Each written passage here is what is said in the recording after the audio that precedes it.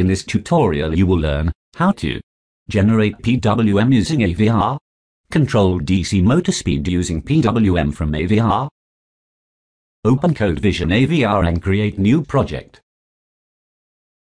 Select ATmega8 as target chip and 8 MHz clock. Enable external interrupts for increasing and decreasing motor speed. Set timer 2 for 8000 kHz. Fast PWM mode. N non-inverted PWM output.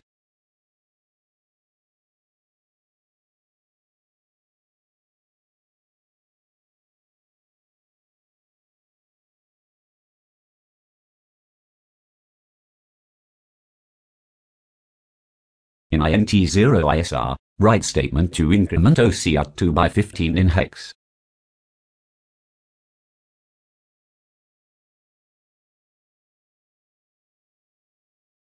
Write the statement to decrement OCR 2 by 15 in INT1 ISR. The value of OCR determines the duty cycle at PWM.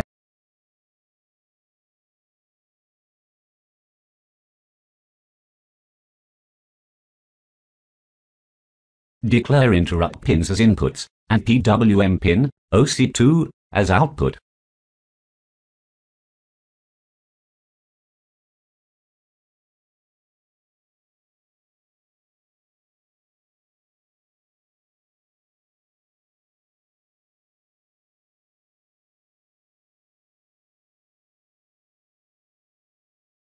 Generate the hex file using build all.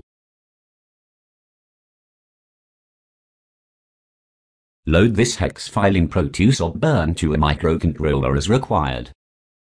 Remember to select fuse bits for 8 MHz internal clock in both Proteus and microcontroller. Run the simulation. Pressing the buttons will increase and decrease speed of the motor. Here is the hardware implementation of the same circuit on breadboard.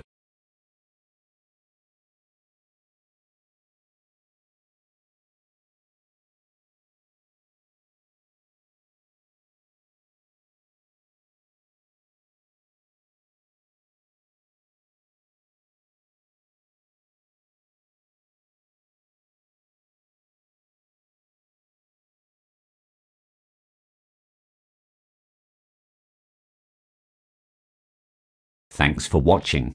Click on the annotation to learn about AVR analog to digital converter or subscribe to this channel. A quick question for you, how many timer are there in ATmega8?